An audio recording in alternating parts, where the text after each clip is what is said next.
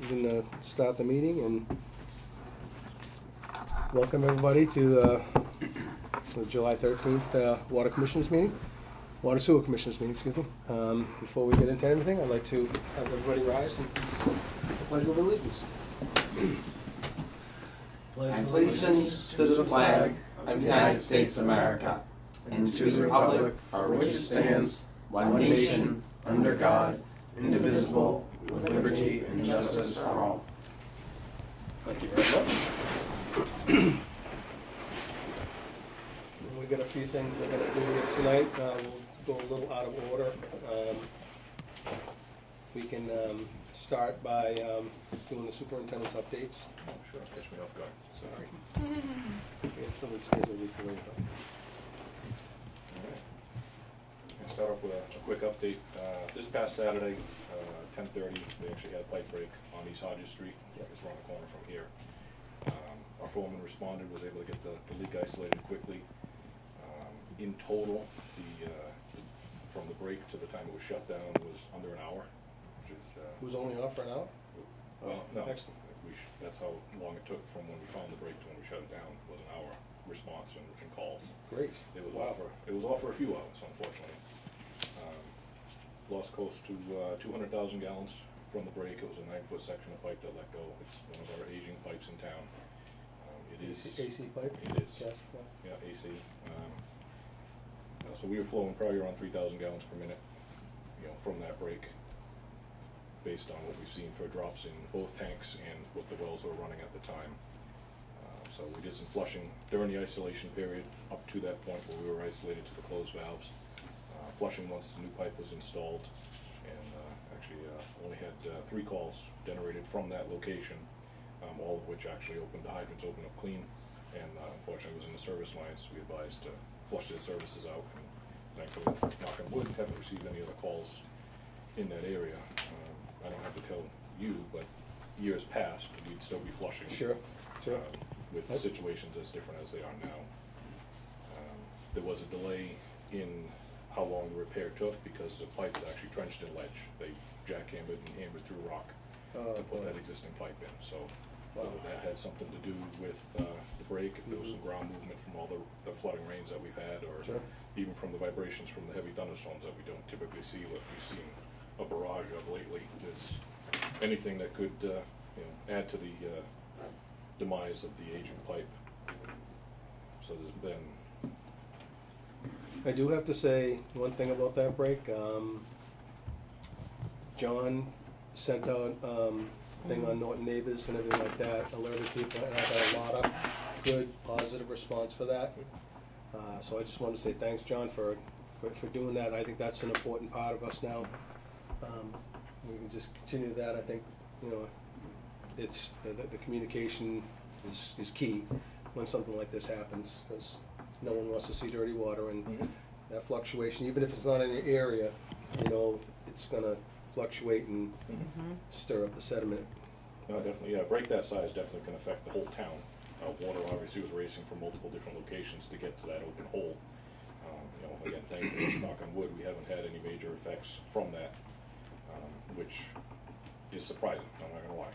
Typically, that's what we'd expect to see, multiple calls, phone ringing off the hook, and it's, again, all for the treatment facility and the, the change in water quality, we can, uh, definitely attest to the changes and what we've seen for years past.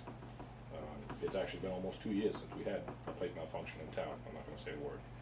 Um, You know, other than a- a service leak or something like that, you know, um, so, all in all, where we used to, years back, we'd see it every Friday, you know, or every Saturday. You know, so the, the miles and miles of pipe that we've changed over the years has definitely, you know, paid for itself. Yep. Um, you know, Moving forward, that is in our scope of work to have that pipe changed. It is not on the top of our list. Obviously, if problems persist in that area, we will change our twenty-year master plan to incorporate that a little higher on the list. When is that on the list? That's pretty far down. That's, that's like three years away. Okay. Um, You know, where it's been two years, three years sounds like a long time. Yep. You know, um, a lot of it depends on funding availability with multiple things going on. Yep. There are priorities, areas, um, like South Worcester Street, Dean Street, that have, um, potentials to see lead gooseneck services and iron services going to the homes. Those take priority based on the lead initiative that we see coming through from Mass DEP and Right, yep. um, So those right now are the top of the list, and again, it's all associated with funding. Those are some very long roads, very old roads in town, so there's multiple areas that would have to be attacked at once. You couldn't do just one small section of road and leave Right. the other small appendages off of it. Um, So the dollar amount gets up very quickly um, in those older sections when you have to do miles and miles of it. So that's definitely something we're well aware of. You know, again, if this becomes, um, unfortunately, the new Reservoir Street where we used to have problems, Sure. it will be moved to the top of the list and, and we'll address it, even if it's not in full, it'll be in some portion. Um, it's sandwiched between two connections, one is Dean Street, another one is down on Billy and Myra's Way, which has a cross connection out to John Scott. So there's So it's- multiple so it's a feeds. loop. It's a, it Okay. is a loop. Um, unfortunately, based on the way the design was installed, when you have to isolate that section, you also put Dean Street out. Dean Street from Hodges to the town line at Rehoboth, because of the way it's valved off, so the affected area is relatively small, but when you add on the additional people that you have to put out just to work in that area, it just adds to the problems, the complaints, the dewatering, you know, everything, Right. everything adds to it, so. There are future expansion valves that were left over there from the project that was done over twenty years ago, that was for Colonial Drive. There wasn't a large enough water main to supply water to that condo association. So we'll have to look at some of the other plans, see if we can come up with a valving sequence that would allow us to isolate that section, perform the work, still allow power, uh, power, still allow water to the lower section of Dean and West Hodges. Would it be prudent to take a look at the map and maybe install a valve somewhere along I the line? I believe there's one there, that, that's what we Okay. wanna verify. Okay. Um, there is some stuff that's paved over out there from the highway department, so. Yep. and So you think there's only places to matter of finding it? There's a good possibility that we have two valves there for future expansion, so obviously we'd have to, if we can't find plans or plans that make sense, we'd have to do a minor excavation just to verify what's there, especially size. Sure. And, uh, it's just a step in the right direction, I'm glad it was planned that way. Yeah. You know, it doesn't always work out that way for us, a lot of times we have to do hot taps or, or shut a larger section of pipe off, install a T and valve assembly just to have additional work go on. Uh, Speaking of additional work that's going on, uh, Mass DOT is back out on site, uh, on East Main Street with, uh, their construction company, KR Resendes. We did hear from them last week that they would be looking to work with us and schedule the shutdown of the sixteen inch main for their relocation purposes. Um, it's been delayed with Verizon taking priority, replacing some of it, um, fiber optic lines that are in the ground What are they relocating for? Drainage? for drainage. Okay. Um, so as part of that project, they will be connecting everything over to the larger sixteen inch main, which is on the opposite side of Town Hall. Um, discontinuing the older aging main of multiple different varieties on the Town Hall side. Um, so there's multiple challenges that have come there, all the laterals for the fire hydrants, all the fire services, um, the sprinkler connections, the domestic water connections, everything has to be tied over to the new main. And on top of that, they need to relocate at least four locations on the sixteen inch main because the drainage structure with the widening of the road is gonna change. So we're looking at at least four or more shutdowns of the largest transmission main in town with the redirection of flow, changes in pressure. when did they plan on doing that? The last thing I've heard from them, uh, in an email today, they do not anticipate anything now until the end of August. The later in So the the year, fall we can the put that off sure. is much better. Um, we don't know where we'll be with the implementation of well five A, hopefully we'll be in a better place. Yep. And if we could incorporate the shutdowns there into a fall flushing program, because we know we're gonna have flushing. Right, right. um, Hopefully it'll work out. Um, Again, we don't know what the reaction's gonna be, we've never had to shut that down in my twenty-one years of being here. So it, it will be a challenge, we'll have obviously all the water operators, our, our treatment division be on hand, um, you know, to monitor pressures, see what we got going on, if it's, uh, available to run off our elevated or our ground storage tanks and have the wells off, so, you know, create high or low pressure zones. It- How- it's gonna be a try and see. How big of a stretch of main do you have to shut down, you think? It's actually pretty significant Is because it? of the age of the water main when it was installed. They don't they are not up to speed with the current AWWA specs of a thousand foot valves. So there is implementation of additional valves where they're doing these relocations, so that we can narrow down those shutdown areas, so each one that goes in will shorten the distance to the next one, if it works in that, the way we planned it. Um, As You long gonna as put a sixteen inch valve in? they're gonna. So as long as they don't jump around, we would anticipate each shutdown being smaller and smaller as far as the amount of people affected by it. Great, that's, that's an That's excellent idea. what we're trying to work with. I Yep. can't guarantee that's what they have in mind. They may have other stuff going on. because Timing it's- will be critical because of the weather, I mean, we were lucky with, with the rain, but, Oh, very lucky. you know, we can't count on that in the middle of summer. So we're, we're doing our best to work with them. We, we all realize the importance of getting the project done, staying with their schedule. Um, They faced delays that were unexpected, like everybody did due to COVID. So if anything, this is a positive that's come out of it with the delay on our portion, um, being one of the last parts to be done out there.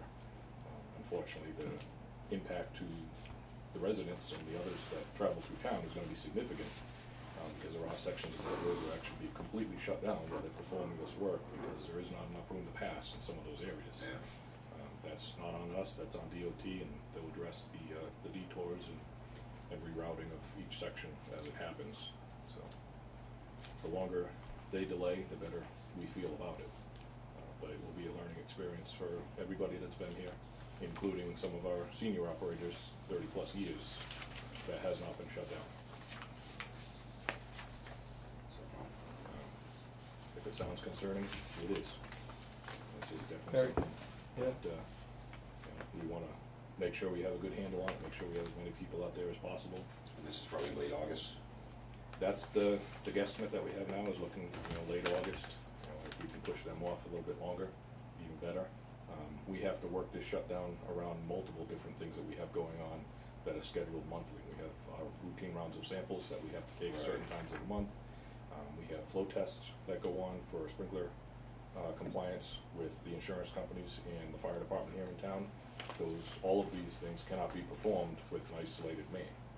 You have to have basic, your system should be under normal conditions when you're performing all of these events.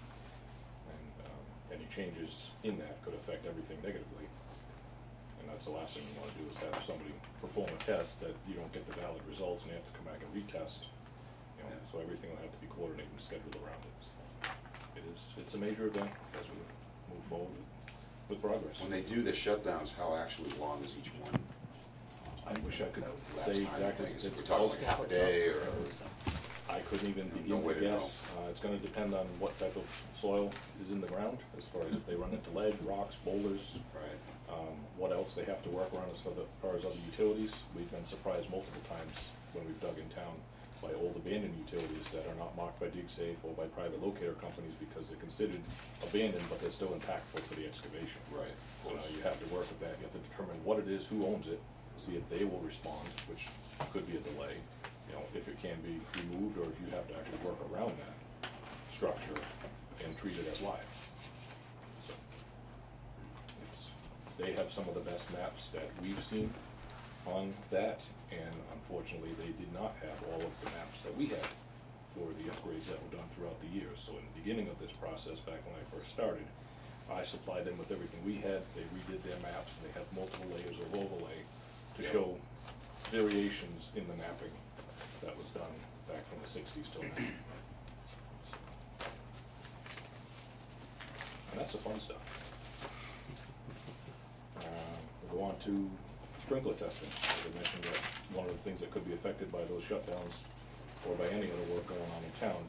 And uh, we have to schedule and coordinate all sprinkler testing, whether it be the small two-inch drain lines that you see typically used for flow and tamper switches, all the way up to fire pump tests or fire hydrant tests, to make sure that they're not affected or they don't affect other tests that could be scheduled for that same day or week.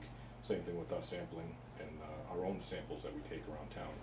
And we won't want a negative effect by a test that's being performed in the area without coordination with all our departments. Uh, So we send out letters, was it March, Late, April? late March, early April, yeah. um, to all of our companies and, um, property owners that have sprinkler fire suppression systems that would require any type of testing device, to notify them that we are enforcing the rules and regulations that have been in place for a very long time. Um, and we would be discussing setting fees in place for water used during these flow events, because it's been brought to our attention that DEP has been on municipalities to find unaccounted for water, what they consider leaks, that aren't actually leaks. And one of these are from flow tests that are being performed without our knowledge or without our schedule. Right. Um, so that letter generated multiple phone calls to many different areas. And, uh, we've been on hand for, if I was to take a guess, three quarters of the events that happen in town. We believe there are still some that are being performed without our knowledge. We can't guarantee and find these areas because they're not problematic as they used to be. Yeah. Um, the most recent call we had was actually from Wheaton College for a company who had scheduled testing, uh, this week, and I got the call on Friday. Now, when they, when they schedule it, do they pay a fee for a guys' time as well, Is- or any kind of, uh, The we- have we set anything? No, the fee that we have in place right now is to cover the water used during the test, because we're not performing these tests after hours, where we used to have a fee in place for that, to cover the on-call after hours. Right. But there's not like an inspection fee that we, uh? We have not added that to any of these charges, um, because they typically don't take very long. An average two-inch drain at a small location, like a a nursery or a daycare, you could be in and out of there in thirty or forty minutes.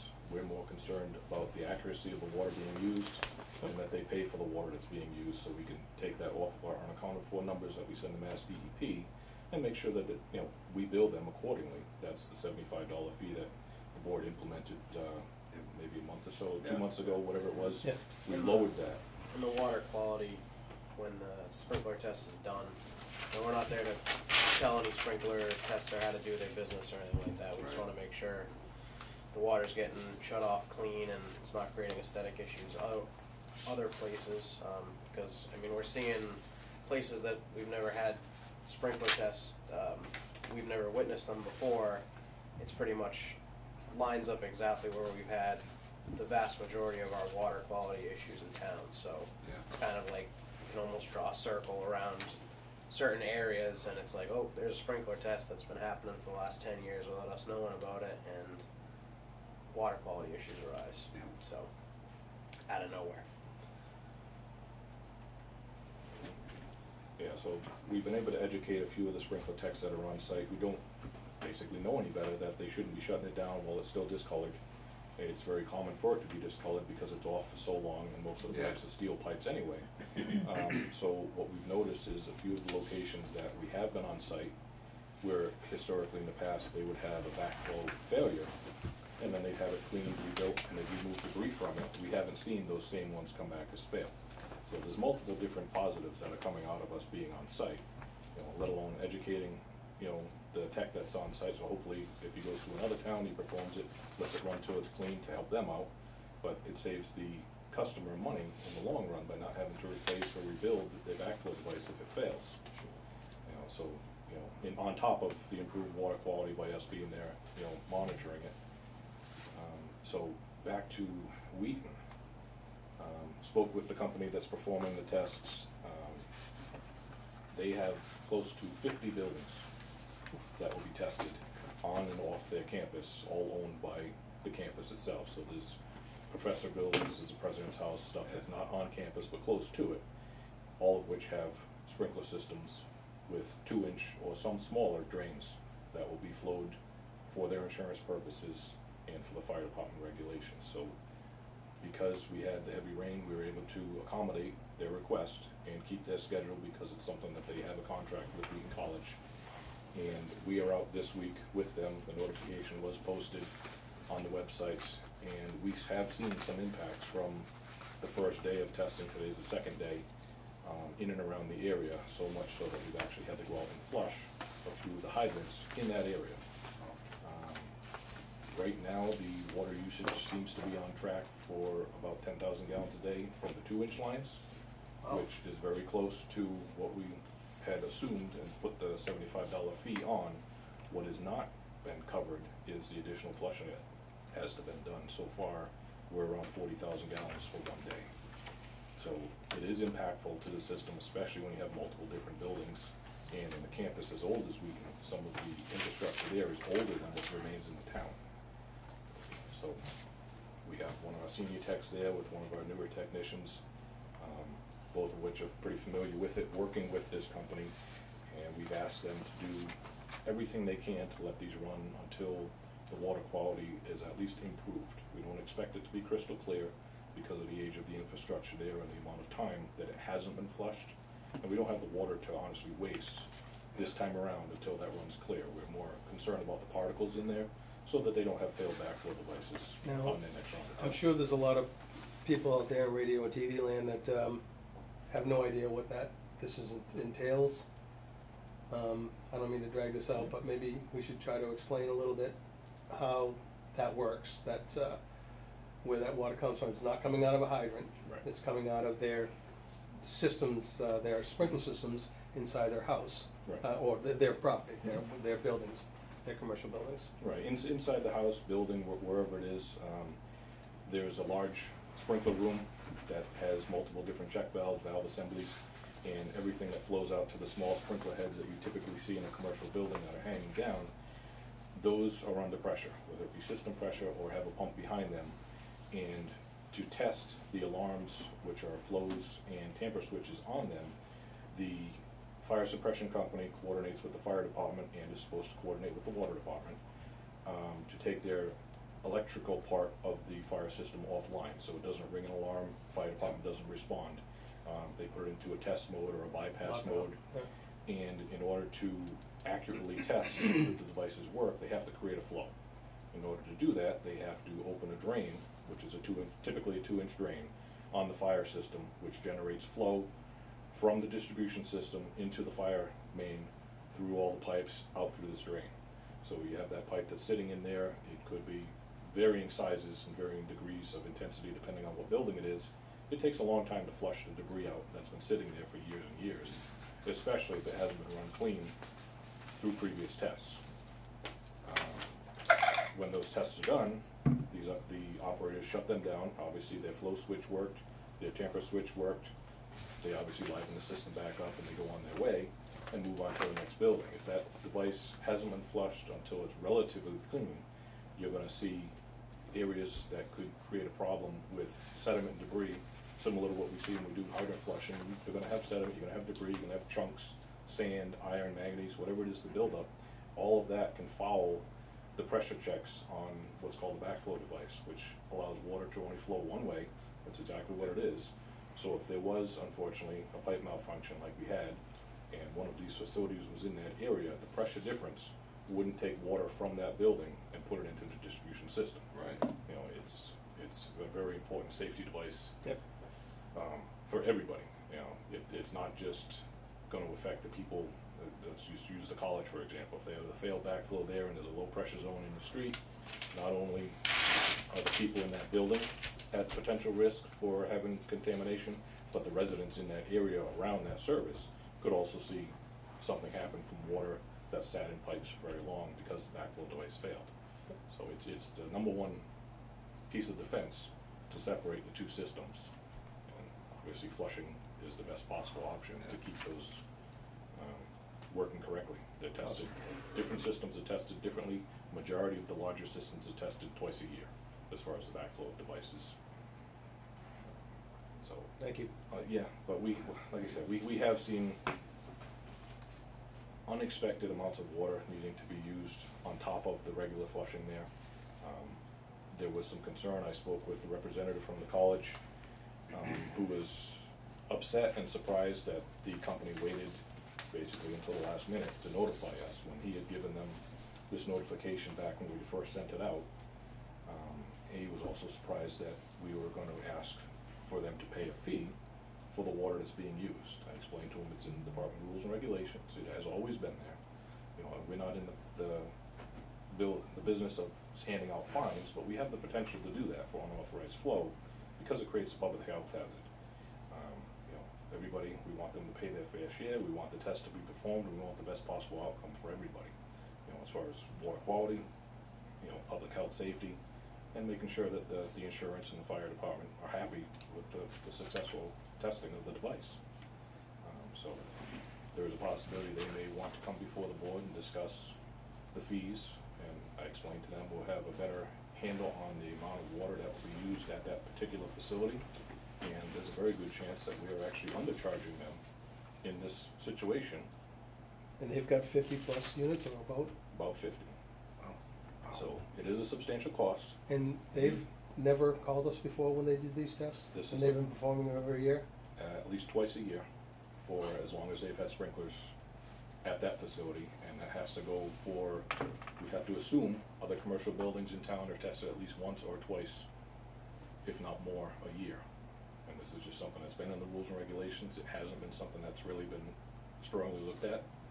You know, now that we're, we have a little bit more time, thankfully I have an assistant to, to take some of the burden. We're looking at rules and regulations that haven't been enforced and making sure that they're done, because it all reflects back on us.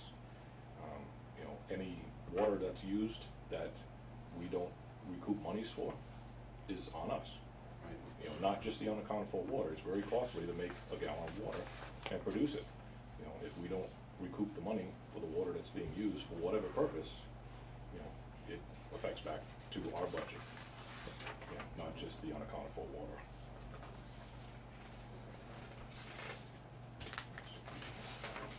So they're they gonna come to a future meeting? Have you invited them? uh, I have invited them, I'm waiting to hear back from the contact that I have there to see if they are going to, uh, want to come in and have a discussion. Um, You know, again, as you mentioned, for how many years has this gone on that we've been unaware? Um, As John mentioned, we could go back and pull up some of the old flushing logs, it, it is a map of the, the month that you would be out there, you'd remember it vividly. There's been times that I was on the news flushing a hydrant in a particular area, and we're scratching our head, no rhyme or reason why all of a sudden, you know, one o'clock on Friday afternoon, you know, we were called to that area when nothing else is going on in town, there's been no malfunctions, no nothing. We called the fire department, no, nothing going on, no fire pumps ran, nothing, nothing out of the ordinary, we didn't pull water So from a were they, hydrant. were they not called either, the fire department? Were they weren't called? They're notified differently, because they just, Okay. the alarm division gets notified that they'll be taking the panel offline. So they're gonna lock it out, right? So they lock it out, Yeah. they'll see that, there'll, there'll be a trouble on the digitizer Sure. at the fire department. Yep, get that. Um, but they were unaware of our rules and regulations and the enforcement that's Yep. behind it as Okay. well. Um, so that has been, uh, discussed, and they are working with us to make sure that if they're on site and they don't see a representative there, they notify us or they notify the Excellent. sprinkler company. Good. You know, that, you know, Yep. you might be missing a step here, you know, to avoid a, a potential incident or fine. We, we wanna make sure that you're aware that there's rules and regulations in place. So, again, working with other departments has not been something that's been strong with the water department in the past, we're working to improve that. Like I mentioned, DEP automatically assumes when we hand in the unaccounted for water on our reports that you have a leak and you're not investigating it. So this is how this all come about. Um, we are trying to achieve less than ten percent loss, whether it be from flushing of a hydrant that wasn't monitored, whether somebody takes water from a hydro street or some, something, some event that you just had no control over. Yep. Um, uh, a miscalculated total on a pipe malfunction, you may have missed, oh, this well was running, I, I didn't notice it on my chart, so I'm off by, you know, hundred thousand gallons because it was running while the break was happening. You know, anything that you can explain, they'll listen to. But when you start getting up into your percentage numbers and you can't, they want you to go out and do a system-wide leak detection. They assume automatically that you're not keeping up with your system maintenance and that you have multiple underground leaks that are just going back into the aquifer. So this proves that the system is tight, which we've known all along, but now this proves where the water is going. And it'll satisfy the DEP requirements for investigation purposes as well. Um, So we will be sending out, uh, this will be our second round of notices uh, to the same locations to remind them of the rules and regulations and that they do need to contact us um, prior to scheduling because we have to coordinate the scheduled events. We can't put it two weeks out and then, you know, we had another test that was scheduled. We, we can't go much further than that. Not knowing what's gonna happen here and water availability. June, July, and August are our peak demand months. We really don't have the additional water to just hand out for these tests. We know they're required, but they can also be coordinated better during the months that aren't our peak demand. Know, So this, there's multiple things that go on, and hopefully we'll see everybody come into compliance. We don't wanna hand out fines, it's not what we're here for. We wanna be there, monitor it, maintain the quality, and make sure they pay for their, sh- their share of their used water. And they have to understand too, they don't wanna be a, a detriment to our system when we need the water the most in these warmer months, like you were just saying. You know, if they can t- put these tests off to a, Mhm. a more feasible for our system. Exactly. Be, And that's what I explained to, uh, to the, the company working for Wheaton and to Wheaton himself, is that typically if we didn't see the eight inches of rain that we just had the past couple of weeks, this would not be going on right now during our peak demand. This is not a time that we schedule these, it's not a time that we allow these. You know, if there's an emergency, we wanna make sure we have all the water available, and thankfully, because we knew the storms were coming and we had anticipations that we may lose power, our storage tanks are full. So we have the water right now available to it, but it's just not something that's typical, we don't wanna get into that situation where we have storage tanks at half full because we had a maintenance issue at one of the locations, and we don't have the availability to put the water back in fast enough. There's multiple coordinations that go on between the water techs, myself, and the treatment division to make sure all of this goes on. And I even explained to them, if in the event that, uh, the water quality deteriorates there worse than we saw yesterday with the additional thirty thousand, that I may have to halt the tests until we actually come out of the summer months and have them redo it again. And I know we're not trying to jam them up with changing their schedule or, uh, you know, what they already have contractually agreed with this company, but they have to aware that we're, we have to have the control of the operation. So, again, I haven't heard back from my contact whether they're on vacation or don't know how to respond, I, I can't speak for them. That's all I have on the water. Anything, John? Uh, no, like, um, Steve, uh, had mentioned, uh, the Facebook page, um, profile I had created on Norton Neighbors is getting pretty good feedback. Um, just wanna give people in town, um, information as fast as we can and the correct information instead of, uh, like I said online, if, if they're not a water department employee, you have to take whatever someone says with a grain of salt. So Yeah. we're, um, I'm here to help. I'm trying to help. Um, and if anyone has any questions, uh, they can reach out to me on there, or, or shoot me an email, or give me a call. I think there's a lot of positivity going on. Um, I mean, everyone's on Facebook. Everyone's on, seems to be on Norton Neighbors. And um, we have, coming from, since I've been a commissioner, um, I've seen a drastic difference and change with how people, since that plant's been online. And it's been, um, we've, we're getting the best water we've ever had in town, Mhm. ever. And, uh, and it shows, and a lot of people are very thankful, of it. we got a And the lot of state work. recognized We- that. we- And we still have, yep, Yeah. yep. And we still have a lot of work ahead of us, as we well know, and we still have problems that we, that we need to address, and as you well know, but, you know, we're doing our baby steps, and we're, Yep. Yeah, we're doing a really good job. I'm very happy with everything that's going on. Excellent job. Yep, you're doing a good job, and you're doing a good job having us clean and safe water in the town of Norton. We, we do our best every day. Oh, and Is that's- that- That's for everybody. yep, I agree. Yeah, I think I James had even mentioned that the state has recognized Yep. the changes in water quality, which has led to a reduction in a large quantity of our samples, um, you know, which is something that was never even thought of, to even request a reduction in Yeah. samples before. Um, You know, so that's very good news for the town, little small cost savings. The samples that were reduced aren't expensive, but the amount of time it takes to do them Yep. frees that person up to go and Sure. do something else. Uh, So we'll take every little bit and every acknowledgement that we can, regardless of where it comes from. Absolutely, absolutely. And it's all got to do with the commissioners. Oh, definitely, oh, definitely. It starts from the top. Seriously, uh, kudos to the staff, I can say that all day long, really, they, they, it's amazing, it's amazing how far we've come. And I know there's been some questions about well one and the manganese level there. Yeah. It still remains. Um, we still need to use that source until we see the new replacement wells go online, five A and six A. We cannot run without that source. I know there's been questions asked about filtration, uh, being added to that location. It is something that has been discussed and isn't in the best interest right now based on the gallons per minute that well produces. Right. Um, it's a very low, small, low production well, two hundred gallons a minute at best, um, which doesn't sound like a lot, but it's just enough to meet the system demand on top of our filtered water and the cleaner water that we see from well three. When I say cleaner, it doesn't have the same levels of iron manganese.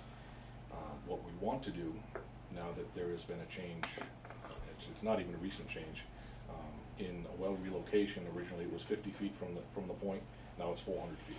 So we have the potential there to move from the source four hundred feet out and possibly find a source that would give us more yield.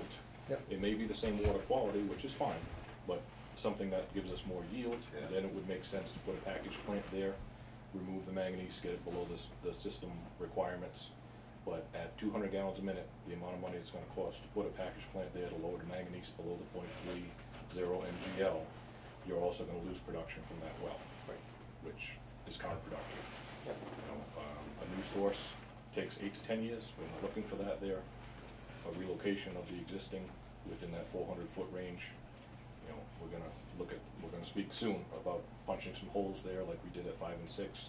Nice. To find one or two, three potential areas that are there, see what we have for improved water availability. I can't say the quality's gonna change, but it may, because we may be able to go deeper. Um, well one is in a less stressed aquifer, it's in Taunton River Basin. Okay. Um, wells four, five, six, and three are in the Canoe River Aquifer, which is a stressed basin because there are so many people connected to it. Yeah. Um, years back, DEP Boston actually come down and requested that we use wells four, five, and six less and increase our production at wells one and three if we had the availability to do so, because they were unaware at the time that we already started the process of putting a filtration plant in. Is three off the ton as well? Or is that No, off of No, Canoe? that's Canoe. Alright. Um, So, we have a very good site there, potential have very good water without limitations as we do now with our permit um, withdrawal from the Canoe River Basin. Yeah. But Definitely something we will talk about in the near future, we may see within the next few months, I have to Okay. have a meeting with Tara about looking at punching some holes there. Um, right now, our person that we typically do that, Frank Sullivan, is actually tied up doing our wells five and six. It's already immobilized. We have no reason to venture out and ask somebody else to do it when we have good results with, with the Sullivan boys. Yeah, yeah. And, uh, with the, when well five A goes online, we're waiting for DEP, DEP approval now, Mhm. um, for a new source. The yield that we're gonna see there will far exceed the original yield that that well actually had, which was seven hundred gallons a minute. Now, how far away is that one again from the original five? The five A? Yeah. Um, I gotta look at an actual plan, but I think we were within a hundred feet or so. Okay, that was so, close. so was the water quality different there? We actually did have better water quality at, at So, the five A, you so know, it's, yeah. and that's what I was it's getting at, so I mean, you know, you never know, with, the- with one, we may get that lucky as well. The original fifty foot was very difficult and you really, you didn't get anything. You kinda, you were in that Yep. same cone of Yep, influence same thing, yep. as you originally were. Yep, If agreed. anything, you opened up three sides of- to your wellhead that wasn't clogged with iron and manganese. Yep, But it was short-lived. Now that they've allowed you to go four hundred feet from your point, you have a very good chance of finding a better source or more yield. yep. Yeah, fifty feet seems like, why, why they, Mm-hmm. It's almost putting it in the same, Yeah. same area, like you said, in the, the cone of influence that, that brings all that Yeah. water into that sand, yeah, it's, Right. it's It's the same water. Right. So, I mean, I know there was talk before, why don't you filter it? You really need to filter it. Honestly, it doesn't make sense to spend the investment on filtering that facility when you can't get any more yield from it. You know, Yeah. let's, let's look at a new source or relocation that we can get more from it and actually have it be a feasible plan that we can get the amount of gallons we'd like to see out of it. what do you think that two hundred would drop down to?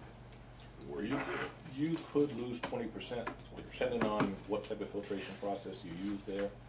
Um, And then the other thing is you'd have to find a way, which is still gonna have to happen at some point, but you'd have to find a way to, uh, remove the iron and manganese solids that you create because it's a zone one area where you can't discharge back into that area. So, you know, whether it be a tank, and you pump that tank and move, pull that tank to waste every so often. Uh, we don't have the same options there as we do at the water treatment facility, where we put the drying beds and lagoons there. So, there, there's challenges to that location, but uh, I think it's be worth spending, uh, some time and some money down there to investigate what we have for options. Just, just someone will be coming up in the, in the near future. I mean, that's a sensitive area, Mhm. and we have, um, you know, we, it's a very sensitive area, as we all well know, and any kind of fluctuation such as we, and and certainly even that water main, even though it wasn't right there, Mhm. Is gonna affect even, we, we, we, we did step one, we put a new main in, which is great. Now it's just time to tackle, tackle it at the source and remediate it there. But, Great. Thanks, Frank. Um, uh, are you done? No, You- I- you did it? I wanna make sure I didn't miss Anything anything. else? That covers it. Okay, thank you. Um, Tara, you wanna go next? Sure, Okay, go next. Uh, as we were talking about wells, let's, we'll talk about, uh, replacing wells five and six, so, um, last meeting I was at was a little over a month ago. Steve had given you the update that we were anticipating uh, another week and a half or so of the redevelopment process at well six A. Uh, we actually, um, well, Sullivan, the driller, did have a little bit of an issue where the fifty-four inch casing pipe, he had a, uh, hard time getting it in, which means usually you have a hard time getting it out, and he had a very hard time getting it out, so, um, the fifty-four inch casing pipe is actually gonna be left in the ground. Um, we contacted DEP, confirmed with them, they were okay with the well design changes.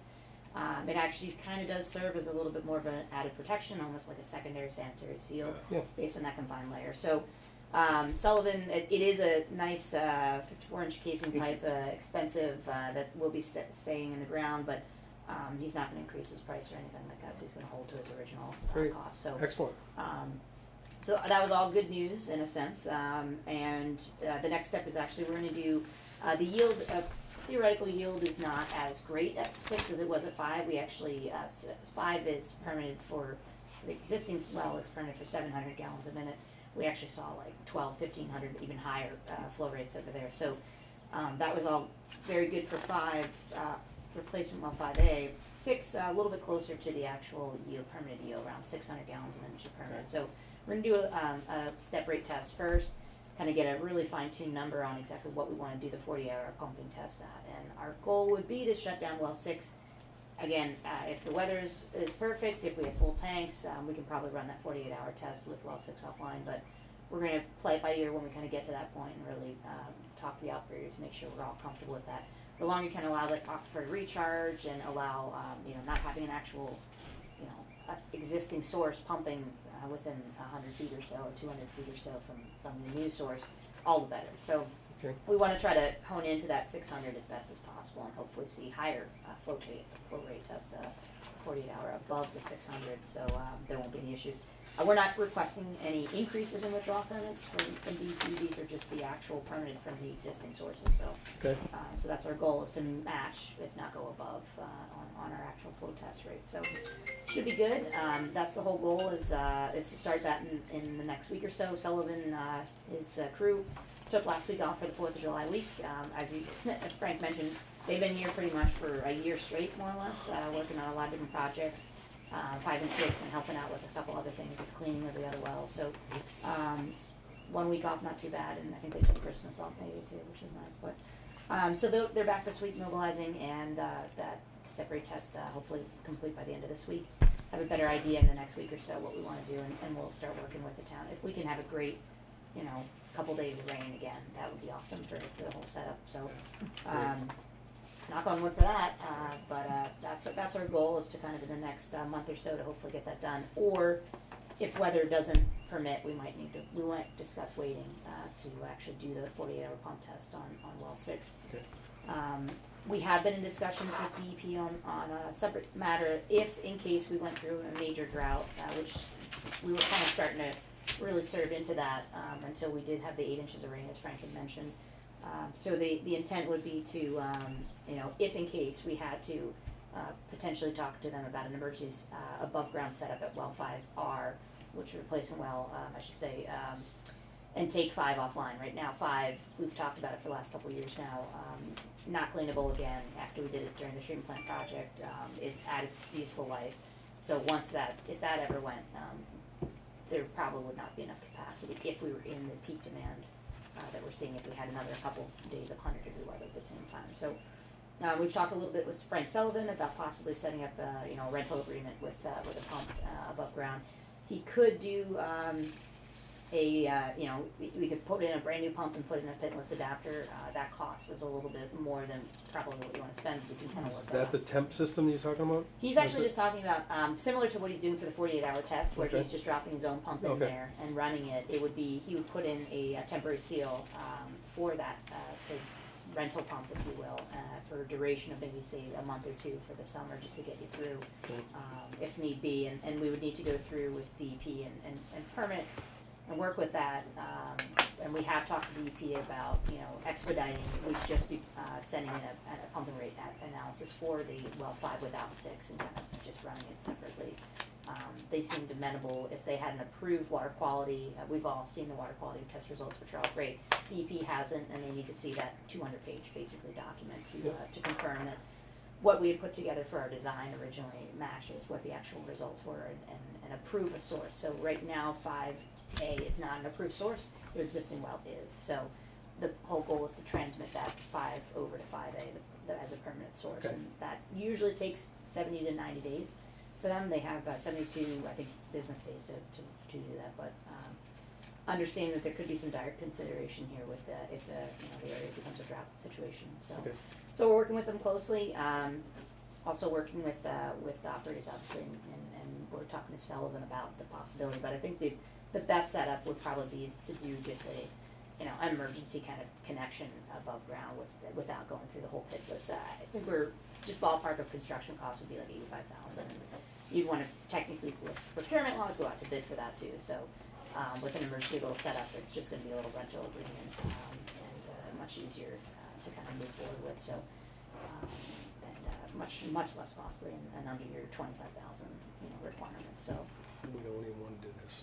Yeah, so, it's, and, and knock on wood that it doesn't have to happen, so that's the whole, Right, the whole. but we have a but contingency plan in case. We're of taking emergency. precautions in case we do need to get to that next, you know, Sure. DEFCON five, if you will, or so.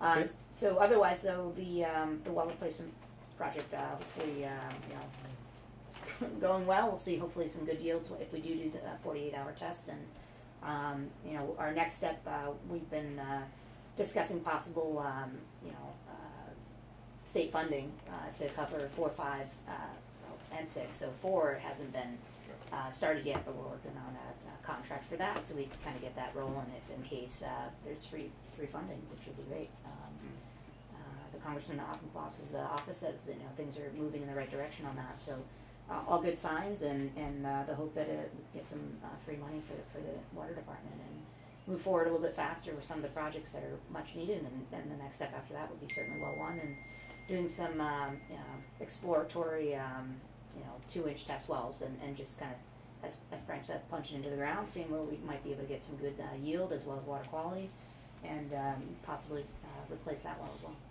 And not to interrupt, but Yep. um, uh, Mike, Mike Tools here from uh, the select board, and um, we were talking about um, well one, which is a- an issue, an issue we all know about. And uh, we were talking about um, doing satellite wells, you wanna expound upon uh, the, what we, we're gonna be looking into um, to remediate, uh, try to remediate uh, some of the issues that we've got going on over there. We've already done one big step, which was replacing the main. Um, that's always a, a big step, and then now it's trying to, um, you know, get rid of it at the source, as like we've done with the, with our other three wells on, uh, on, on Plain Street. Yep, yeah, so, uh, well one is uh, currently around two hundred gallons a minute yield, uh, which is really low.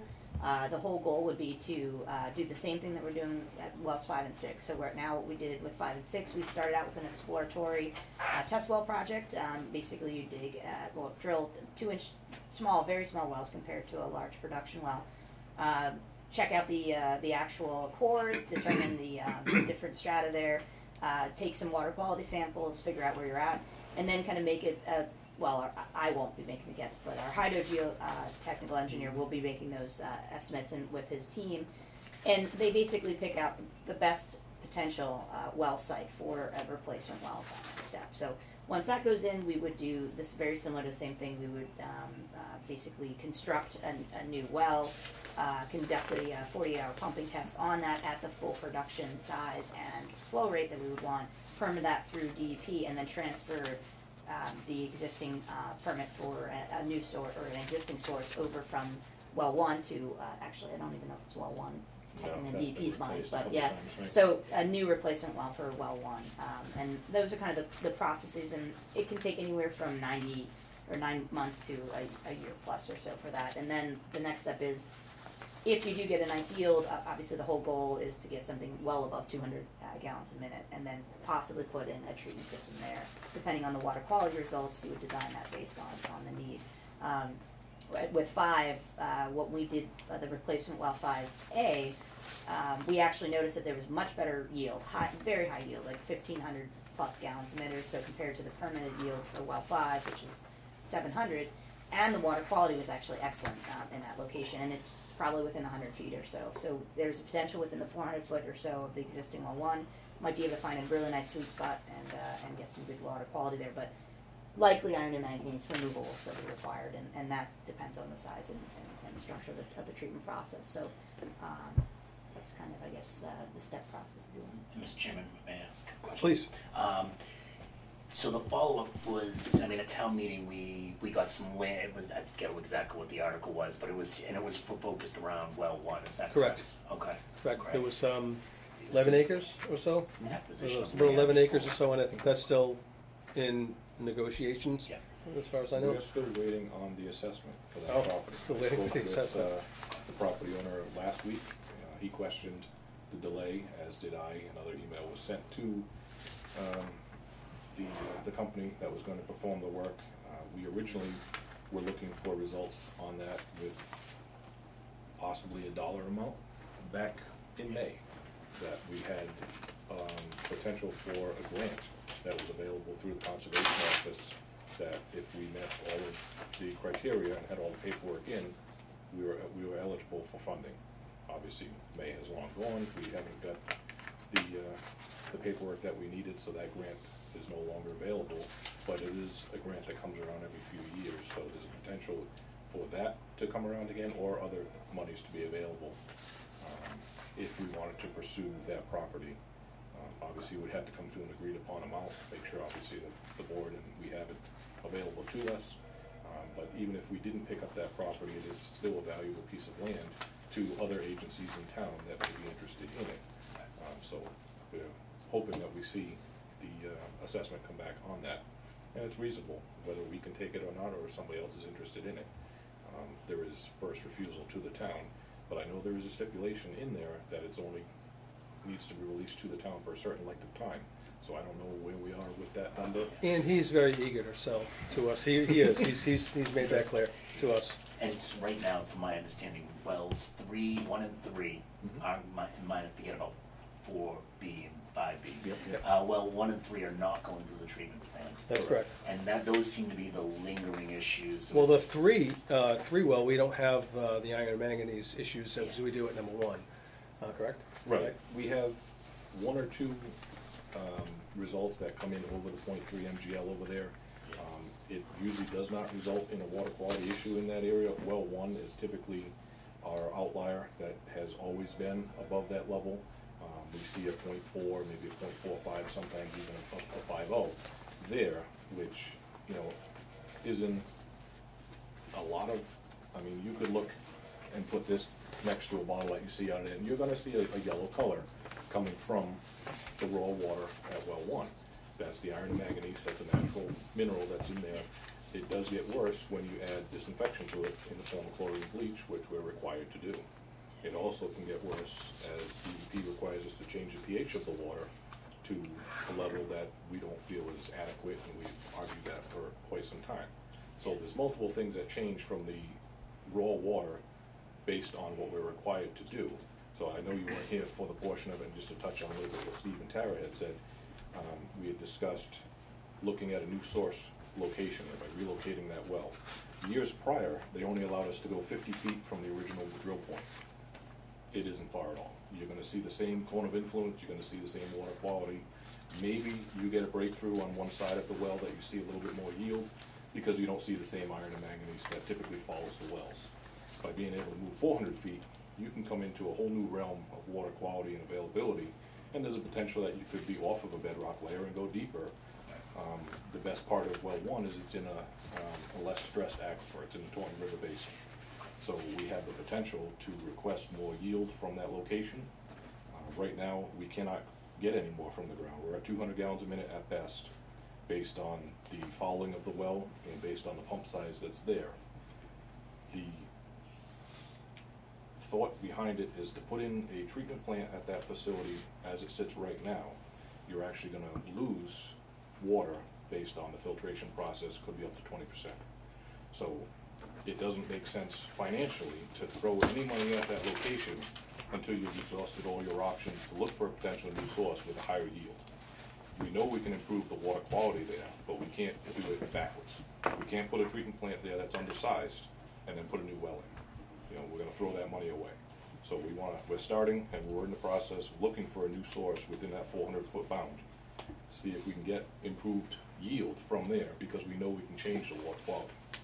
Um, I If know- water quality, and it's not quality, it's, it's, it's cosmetic, It's- it's almost aesthetic. cosmetic, Yeah, it's it's not aesthetic, quality. right. Aesthetics. I wanna make sure that it's, that today we're not Yeah, yeah. throwing gasoline on a situation, it No, really no, is no. aesthetic. No, it's, it's it's aesthetics, yes. And we, we also have, um, some members of the community, uh, in the Pine Street area near well one that, um, are worried about manganese, um, health issues and, uh, water quality problems can start at as low as, um, point zero five MGL. So I mean, the, the, um, point three limit set, that's, that's significantly lower as far as health advisories go, and we have to publish once a quarter because well one does continuously exceed on our um, our, our manganese samples. It's around it's you know the the limit's 0.3 and we're at between 0.4 and 0.5. Um, but when that water is entering the system, it's mixing with water from the treatment plant from well three, which is significantly, significantly, significantly below that 0.3 MGL limit. That's a raw Um, sample. That's yes. a- Okay. So, so I mean, Right at the treatment, uh, right, so I yeah. saw that, Yeah, right correct. the- I- I I saw see. those samples that you guys had, that runoff sampling Sorry, before it John. goes through the treatment. Yeah. and all that. So, um, you know, there are concerns about, you know, I've, um, like we were talking about earlier, I s- started uh, having a um, uh, Facebook page uh, to interact with people, and people are worried about manganese issues and health issues related to manganese, and uh, manganese toxicity is a word that's thrown around, but manganese toxicity is something that we're not dealing with here. We're not even close to dealing with here. Um, you know, the, that 0.3 MGL limit is for lifetime consumption of your drinking water. They want you to be, they suggest you be under that. Uh, a human adult can safely consume 10 milligrams of manganese a day. So you would have to drink, you know, 10 gallons of water directly from well one to even come close to that number. So it, it is something we take seriously. We definitely, we don't want to have to post that our well is high in manganese. We don't want water quality aesthetic problems. But I definitely feel um, there's a misconception as far as the uh, health effects of the manganese in the drinking water, especially since it's a blended system and the, the, the water being pumped from well one is less than 20% of the water in the entire system and it's mixed together. So, um, you know, it's something we definitely want to address, but it's something that, you know, I had people ask me about all sorts of health issues, and it's manganese toxicity is not something that we're even close to dealing with as related to well one. So, I've been following you on Facebook, Yeah. and you've done a great job, you take uh, the citizens forums, taking it very some people don't necessarily want to always hear what you have to say, but Yeah. we try to give the best information we can. So. And we're not saying, we- the- we, we know of the, uh, the few issues that we do have out there. Uh, There is, there is a handful of people that we see that's, that- that's prominent. Um, And like we keep on trying to say, we- we're urging them to call because we have a great staff that'll go there, we'll be able to educate, we'll be able to clean out, we'll be able to flush out what we need to do. power flush if we have to, by taking out the meter and flowing it right through and flushing it correct, the, the correct way. Uh, and educating people along the way on how to do that, so they can do it themselves as well. Um, But those are wells, three, I'm not, listen, I listed three out, that's the four or five. That's really, we can't solve the problem yet on one until we have a new well on one. Is that Right. accurate? Is that an accurate statement? You're or am I- exactly right. We Yeah, cannot lower the, the need for well one until we replace or get approved from DEP to replace two of our, our failing wells, Wells. honestly. Five and six are failing. Really? They have been for a number of years, which is why we're in the situation that we are now. If we had enough water to go around, we would gladly turn the, the use down at well one. We could not turn it off completely because we would lose the source.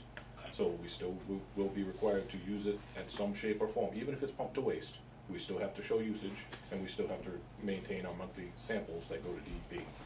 Um, You know, once five A comes online, we will see a whole change in water quality. It'll actually be a new learning experience at the water treatment plant that you visited. Yeah. Because we've never seen that amount of water go through that facility, so it'll be like learning all over again.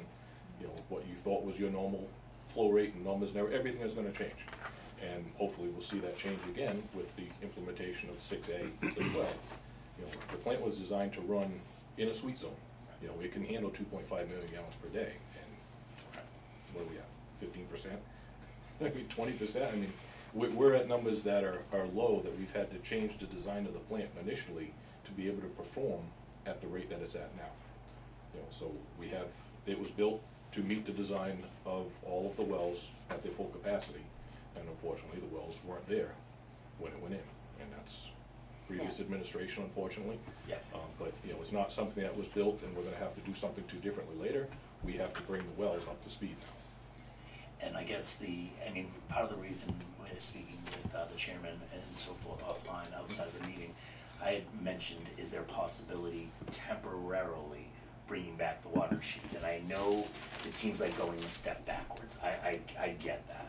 But we do have some citizens that are, are still affected by the effects of well one. It sounds like five A and, and six are, are, they're, they're fast and furious coming on here.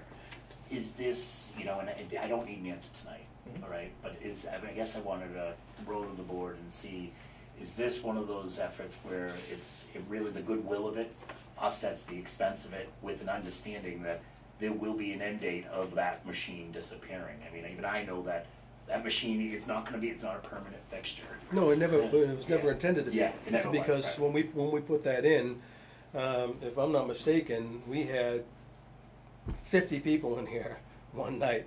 And, uh, and it was, and every single complaint was legitimate, and we know, Yeah. and we know it. We didn't have the plan online. So it was legitimate, uh, we had, you know, we, we had dignitaries involved and everything like that at DEP, we had, to you know, it, so it was, this was, it was a serious thing, that's why we built the plant.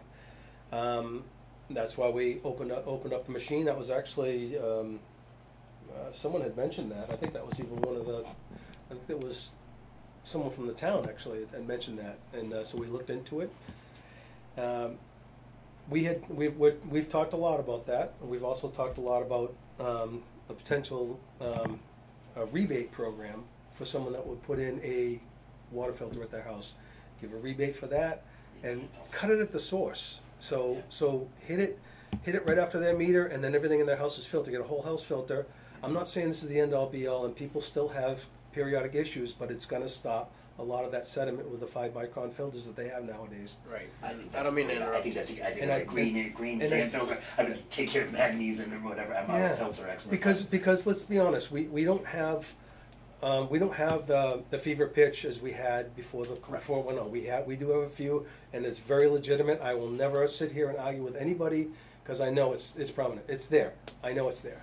And there's not much we can do because everything takes so long. It's a pro, everything's a process, you know? Everything's, even our new plant and the new wells that we're putting in now, it's a process. So if we can do that and, and implement this, this, this program, uh, that I've talked to Frank about it, and, um, and I think we, I think we can come to it and, and get that going, get that ball rolling, so people can get these filters in. Um, uh, there's a few filters out there that you can get at Home Depot, there's other ones that are, uh very expensive, reverse osmosis, and we're not talking about those. Those are huge money, I mean, let's be honest. I mean, I don't think many people are aware the water at town hall is town water. It's a Yeah. reverse osmosis machine. It's, it is town water that We you're getting actually, off the yeah, better that's funny you should say that, because we did have a couple of conversations with people. No, no, this is filtered water, this is Simpson Springs. Um, But, it, you know, it, it served its purpose, and I understand where you're coming from. This is why I didn't wanna close the door on you. I know, I know it's a concern, I know, I'm sure you've gotten a lot of people asking you about it, and I, I totally understand it.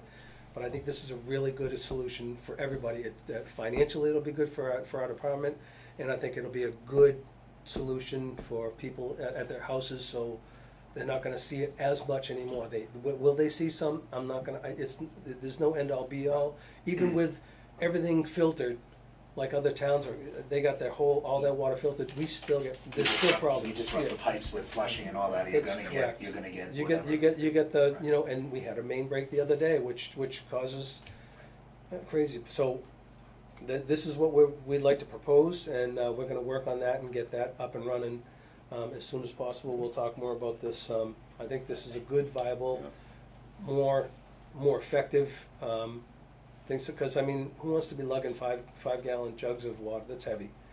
I mean, that's fifty pounds of water, I mean, Not only that, Steve, but like um, Frank has mentioned, uh, you know, the the water um, from the water machine, you know, you can't use it to bathe. You can't use it to do your. I mean, you'd have to have such a large amount of water to do your laundry, stuff like that. Where if, if you were to put one of those filters in and and protect your whole house, it you know, I mean, I would say. Um, a, a good amount of the complaints that we receive about any aesthetic issues have to do with people doing laundry, doing a set of white sheets. Brown water gets in there, and, and, it- and it It's just colors the sheets, and it's too late. and um, yeah, exactly. And You know what makes it better? Bleach. yeah, no, no, I'm and, joking, I'm joking, it makes it worse. And if that happens, Everybody knows it makes it worse. It brings the sediment yeah, and if that happens, don't dry your sheets. Call us, and we'll, Exactly right. send out some. Uh, Don't dry your sheets if you get it, if you see it, that's Yeah, right. yeah. No, no, Uh, I, But I think, I, I think that, uh, like I said, um, I know you, uh, you had mentioned it to me quite some time ago, and we've talked about it. Yeah. And, uh, I think this is a good viable, uh, solution, I think. I like the really- rebate idea to not locking anybody into a specific type. It allows the homeowner to Yep. Yeah. pick It which is- brand they want, what, how they wanna do it. I'm on Newcomb. I don't, I was on Newcomb and Bryson. I- Very rarely do I even get any kind of shading my water. I think I'm a one three. I, I really do think this is a spot situation and I Yeah, I think agree. the filters might bring some solution to really difficult Pine Street and Yeah, whole Pine I Plain Street. understand. is- They have, they have it tough right now. I've got some friends that live over there, and I talk to them frequently. Okay. I, I, I- and I, and I know it's, I know it's legitimate, and I know there's some people that are very vocal about it, and, and it's legitimate. It, it is. And it's But- difficult to, uh, my heart goes out to them, and it's difficult to say that we don't have a instant solution to how to, you know, it's something that takes time and, and like all the options we talked about here, and it's, you know, it's, it's, I know it's, if I was in that situation, I wouldn't wanna be here and, you know, we're working on, you know, well, my water's brown this second, how do I, how do I, uh, go about fixing it, but, um, if you call us, we will do everything we can to go out there, get a hydrant open, and clean the water out, so. No, I think that would be helpful. The other thing that I, um, I had the ability with the congressman and Frank and, um, and your staff, which is amazing. I do would encourage us board to host a community at the water treatment facility. It is a pretty impressive facility. And I, I think it's, it- people, once they see it, can say, all right, they're not just kinda, Yeah. it isn't just a house Yeah. filter, right? It's- it Well, a lot of really is people don't even know where it is. deal. I see a lot of people like, where's that plant, where is it? And so where on Plain Street? They don't know, it's uh, out of sight, out of mind, and I think that's a good idea, we'll discuss that as well. I think that's a really I good idea, would an, an open house type of thing. And I know the selectmen would be, would be much, would be very helpful in trying to promote it and, and so forth. And I think, We appreciate I, I really do think the rebate program is, is really a, is, is, is an, we have to do s- something just even in the Right. short term, right? And I Right. think Right. if we can find something that kind of resolve those people that are having I understand, yep, and I, and I totally agree with you. I, We're I definitely on board. appreciate the board uh, having me and I apologize I was running a little. No, no, no, late. that's Thank okay, you. that's okay, we didn't skip a beat, that's all good. We appreciate you coming down, Thank Mike, you very seriously. much. I appreciate it. Door's always open, Thank you. yep.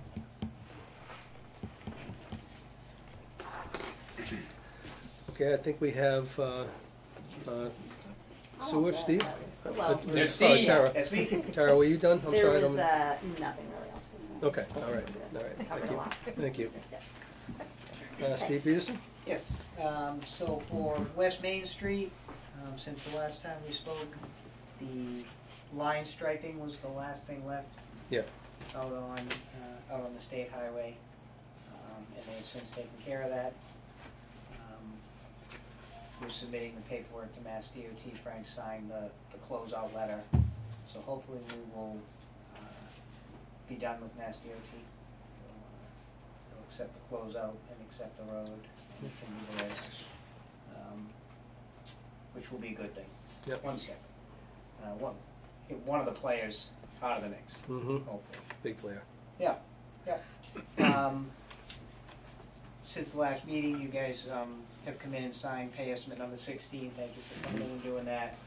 We're putting the um, SRF application together to get uh, reimbursed for that, so that the town has the money, uh, gets the money back from SRF uh, in order to pay the bill. The, the rest of the costs are all eligible through the SRF, so we just need to get the bills in and uh, get them into SRF. Yep. And as you do the last, so this is all part of the SRF closeout process, so the last bills, they start asking more questions and more paperwork needs to get done before they'll pay the very last SRF uh, payment, so we're working on closing everything up. Okay, good. Um, So we're in good shape with that.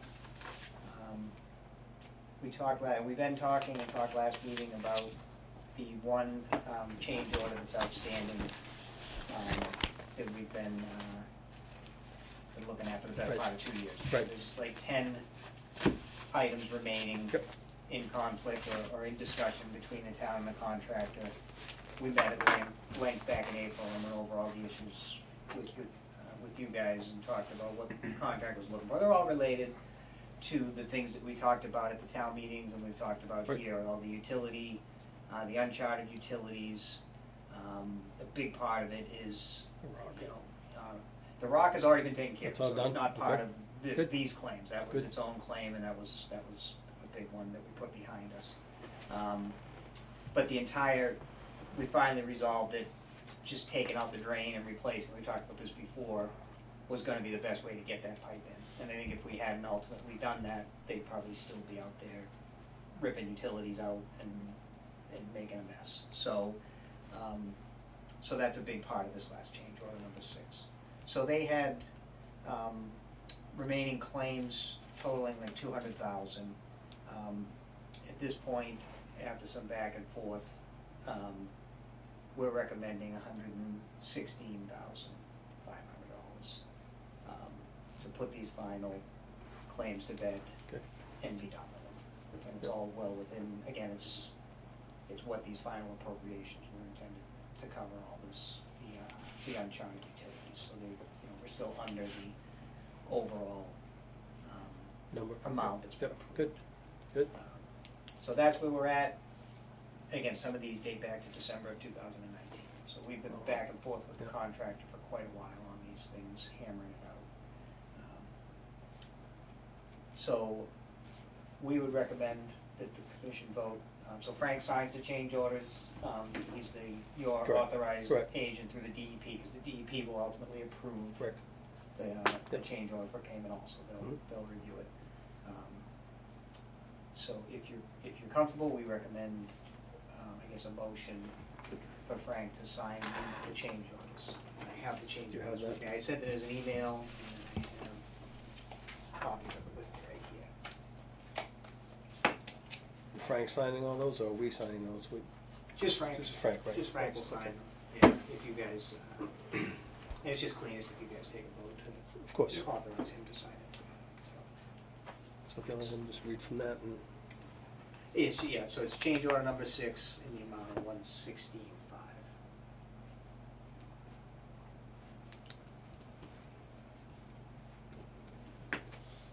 Okay. Um, So I'd like to make a motion to have Superintendent Frank sign change order number six for the amount of hundred and sixteen thousand five hundred dollars. I second it. All in favor? Aye. Aye. Change are approved. So Frank, you can take care of that. Do you wanna give that note now, or do you wanna? Yeah, you can pass that. Okay. Him and we'll go for those. And so with, um, with that, the contractor, his next pay rec will include that, uh, as well as a release of the one percent retainage. Um, And then where, Yeah, so we're that done. will be, he's already put that in, but I, I understand. I got that in. Yeah, He's, okay. he's pretty aggressive about getting money, obviously, so Yeah, I let's get, understand. let's get the change order resolved, we've got a pay rec that still needs to be paid here. Um, It's done, I think everyone's, everyone's been pretty happy with, uh, with, with, uh, the final product, Yeah. certainly. Um, I mean, it's a, the center of town we're talking about, Mike. It's, uh, looks great now. Yeah, Yeah. yeah, yeah, it was a process. Long time coming. and it Yep, was- yep. it was a I'm sure the struggle. It the was a schools struggle, will. and it was, uh, We knew it was gonna be a tough place to be, to begin Sure, with, where you yeah. were. So, um, you know, the one of the, there is, you know, one of the processes of closing out with DEP is, um, is the balancing change order, which, um, it's no exchange of money, it's just because it's a unit price job, not all the quantities and, and units came out the same, it's all money that's already been exchanged or whatever, it's just cleaning up the contract to show what his final contract amount is. So when we do the final pay rec, we'll process that balancing change order, but the one you approved tonight is all of the remaining claims of Okay, any, of any sort at this point. And by signing off on it, the contractor is acknowledging that Beautiful. he's done, he's not coming back for anything Good, else. love to hear it.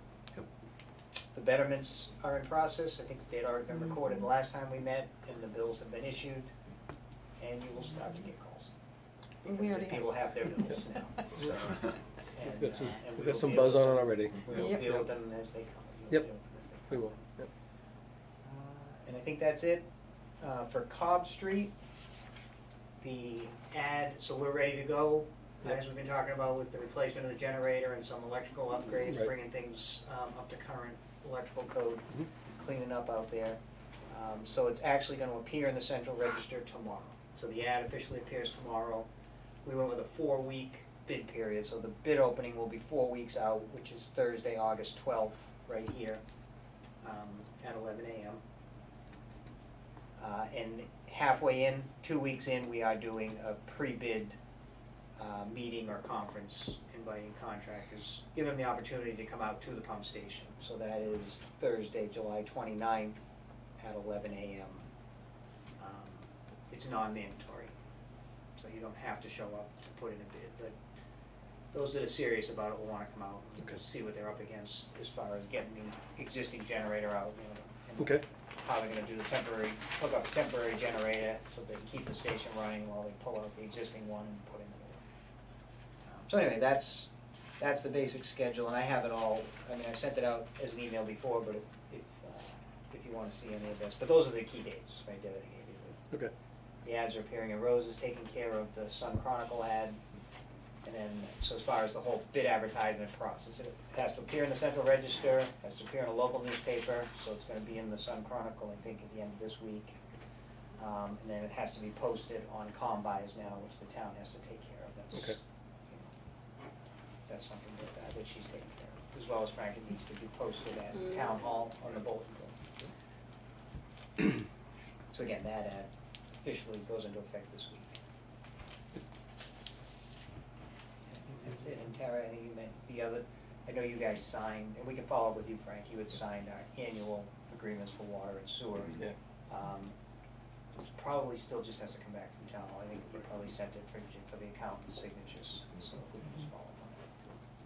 That's, that's what I have. All right, great.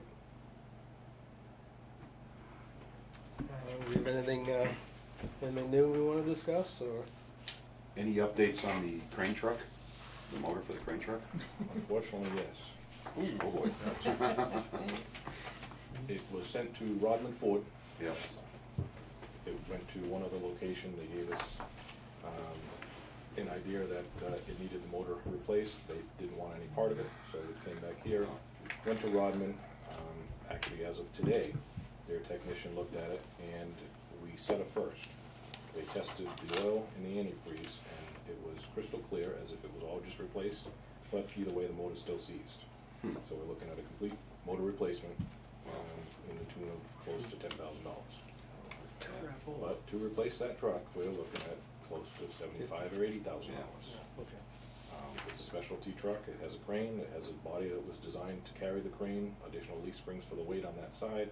I- It's something that we cannot do without for very long. How long will it be out if, uh, There was a delay on Ah. motor availability due to COVID. of course, We- I thought that was over.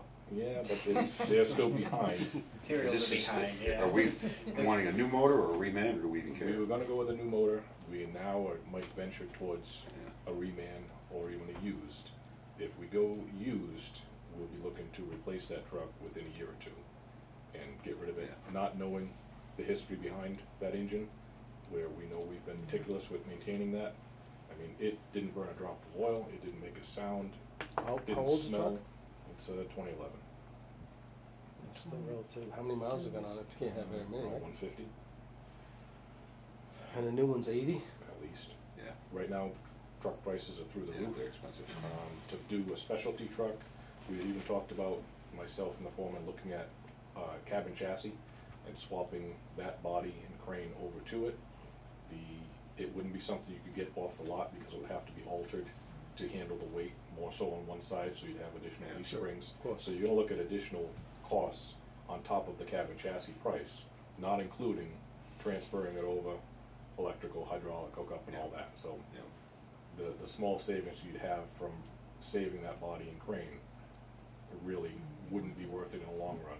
Now you're gonna be chasing alternates, you're gonna have a truck that's better than the, the body, you're always gonna be flip flopping.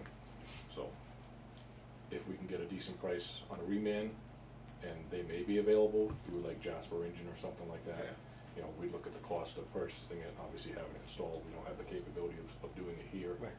Um, if we have to go use and get a junkyard motor, not saying that they're bad, and they will come with a basic warranty for if you get it from a reputable place for a few Done months. that very thing myself, the best. Right, but, but you don't know, you, you just really don't know. Sure. But if it's, if it's time, we may have to go with the, the cheaper and not best option to get it back, to have it, as opposed to the best possible option. But It's not, not a, not a pretty number. For something that started up and ran beautifully, Do we have that as a replacement in the future? it was not looked at for a replacement in the future. Uh, a couple of years ago, we actually replaced the crane on it. Um, Yeah, I remember, yep. it was not that long ago, and you know, if we had any idea that we were gonna look at replacing it, that definitely would have been an expense we would have put towards that.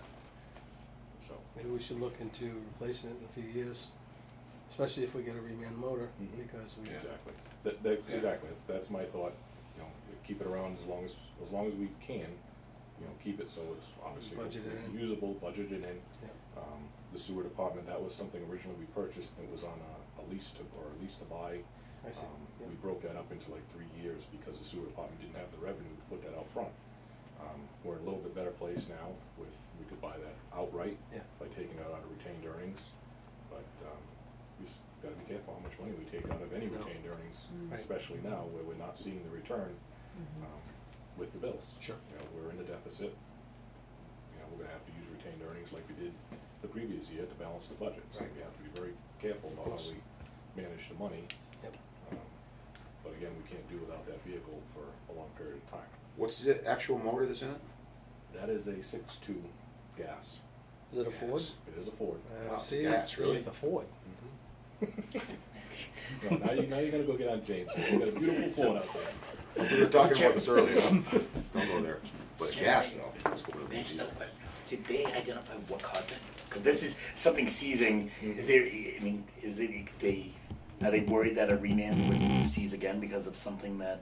They didn't indicate either way what would cause it, but they said this is absolutely a first for, for Rodman Ford to come up without any type of contamination in oil or antifreeze, no metal shavings, no nothing, and to have a seized motor. Have to do an autopsy on the motor. Did, Yeah. yeah, you, have, are you gonna put this on the capital plan before? This would, this would be on, the on the capital. Come- come forward. Um, moving forward, you know, we, you may also see, when you ask, um, the sewer building, going back on, it was on there two, maybe three years ago, I had requested that, and it was shot down. Um, We need separation of the equipment. So again, now if we're looking at keeping this, or God forbid, spending a hundred thousand dollars on a truck, we don't wanna park outside. We need storage for Yeah, the you sewer gotta, you gotta protect that, yeah. Separate from Yeah. the building that we have out there, which you can see there's vehicles outside because they don't fit, because we have sewer apparatus in that building. So, just, just to keep it in your, your memory. Okay, um, anything else, Jim? Anything? Uh, all I can think of is next meeting date. Next meeting, I think it was the twenty-seventh, We already said that? twenty-seventh, Twenty-seventh, that's two weeks, right? twenty-seventh? Same time? Yeah, if that works for everybody, it certainly works for me. Um, We're gonna work right away on the, the, the rebate, uh, Yeah. uh, the rebate program that we're gonna do. We'll, and we'll keep you guys updated, uh, as we go. Um, uh, Please give me a call if you have any questions at, at all. Uh, Appreciate you coming to the meeting. Thank you. Um, Well, if we don't have anything else, in favor of motion? If That's the time, I'd like to make a motion to adjourn our meeting. All in favor? Need a second. Second. You guys all in favor? Yeah. Pete, you in favor? Yeah. All right. All right, thank you very much, everybody. Thank you, everybody. Thanks, thanks, Mike.